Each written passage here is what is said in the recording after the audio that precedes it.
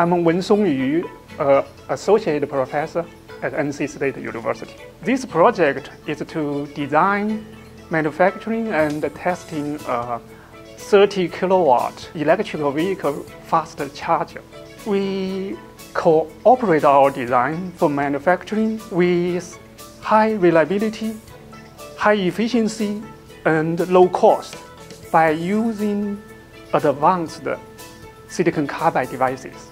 To reach 99% efficiency, we using state-of-art topology, circuit, device, and the thermal design with advanced computer simulation. This is the internal fin structure. Yeah, you can see that uh, advanced silicon carbide devices made in USA from Microsemi. Customized module using the high performance, low cost double side cooling.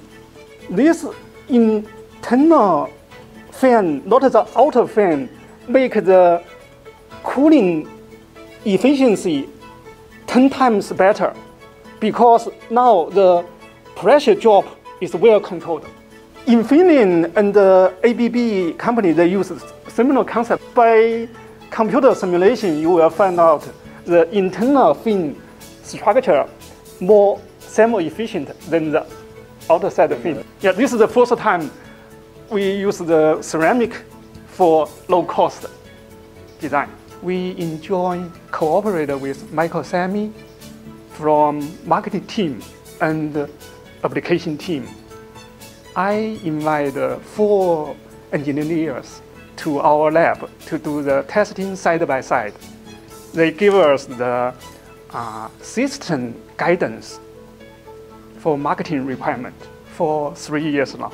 I move a digital UPS project to mass production 10 years ago. I hope uh, this project can be successful as well.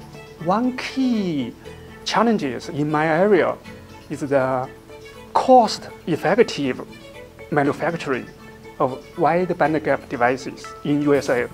Actually, now we are in the front end of that uh, manufacturing process. I believe, give us, say, a uh, few years, we will dominate this area in the world. Exactly, our partner of Microsemi, they build the advanced future technology. Now we try to combine the existing market for mass production.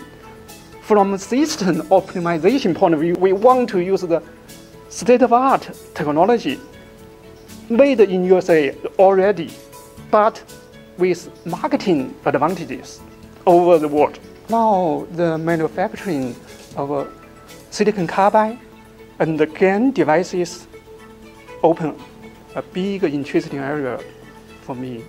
For example, I use that wide bandgap devices for solid state transformer in future grid application. Also using wide bandgap for electrical vehicle applications. Without manufacturing of wide bandgap semiconductors, that research area is impossible. I hope we can really do some mass production in USA.